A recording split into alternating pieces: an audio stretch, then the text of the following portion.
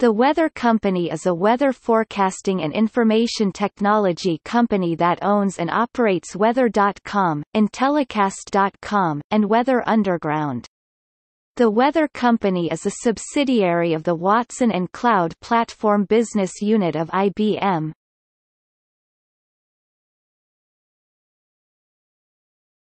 Topic: History and operations. The Weather Company started as the Weather Channel in 1982.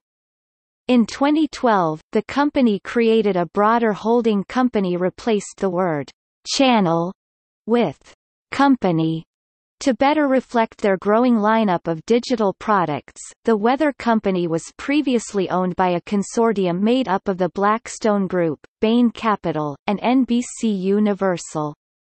That consortium sold the Weather Company's product and technology assets to IBM on January 29, 2016, but retained possession of the Weather Channel cable network until March 2018, when it was sold to Entertainment Studios. As part of the 2016 spin-off, the Bain, Blackstone, NBC Universal Consortium entered into a long-term licensing agreement with IBM for use of its weather data and the Weather Channel name and branding.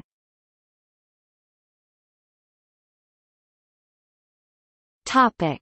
See also